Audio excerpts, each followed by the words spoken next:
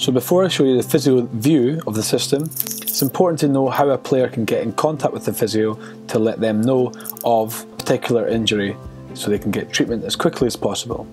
So just go to the report injury button of the physio you need to speak to, report the uh, injury site, and then give a description, maybe how it happened or information about what the symptoms are right now. Send that request off and the physio will re receive that notification. The physio's view is completely different from that of the staff, coaches and players. They get the chance to see an up-to-date version of all the injuries and those on rehab programs. For instance, the injury I just reported has now been put into the reported injuries box and it's marked as unread. Physio can get there, check out who it's been sent by, when, the current availability of that player and details on the injury. From that point there, they can go to the player list and mark that player as injured. That immediately alerts the coach to the player being injured.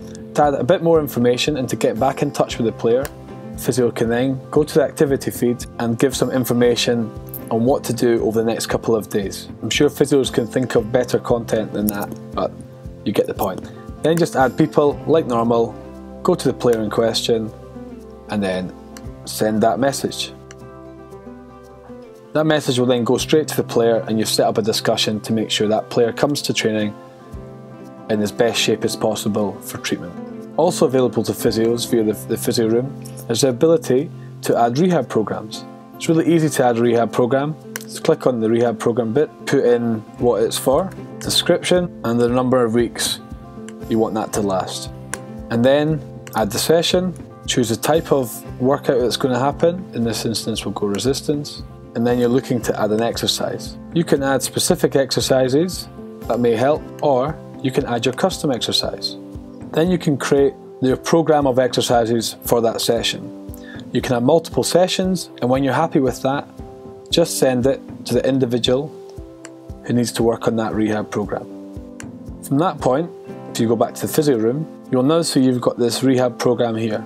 Click on it to start again. You can use that as a template for another player, or if you go via the gym and click on all rehab programs, you can check the progress of that player across the weeks that you've created the program for. Once a player has made a recovery, you can let the coaching staff know by clicking on the player and marking them as available. You can obviously follow this up with some more information via the activity feed. Another good idea being used by clubs is the use of the, the resource room.